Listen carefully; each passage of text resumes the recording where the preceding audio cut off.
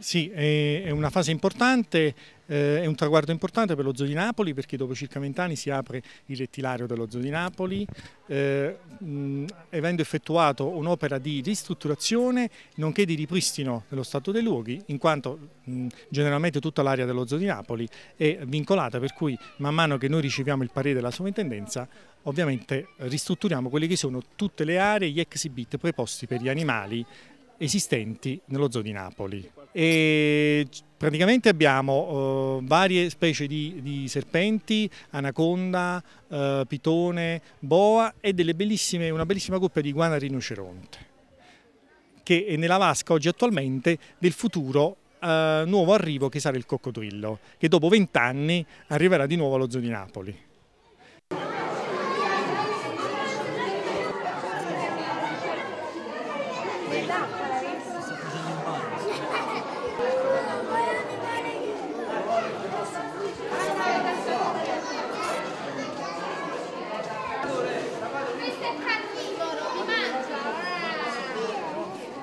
Lasciamo io.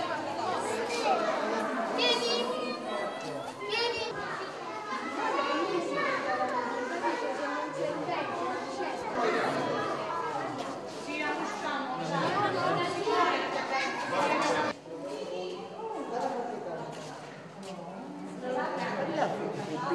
Aspetta, guarda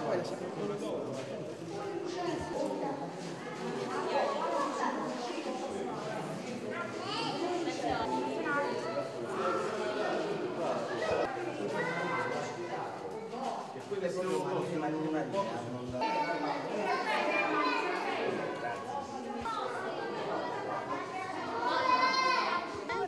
Questi sono i denti di un coccodrillo, il coccodrillo del Nilo.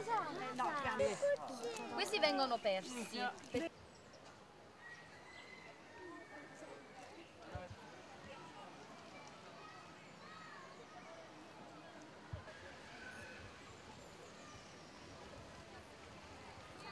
Ha un patto però, ha un patto.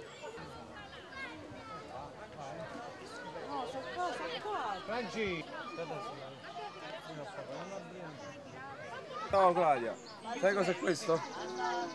Questo è un cranio, infatti guarda i carini come sono lunghi, questi servono per uccidere la preda, mentre invece i molari aguzzi dietro ti servono, è una capretta e quando infatti quando vai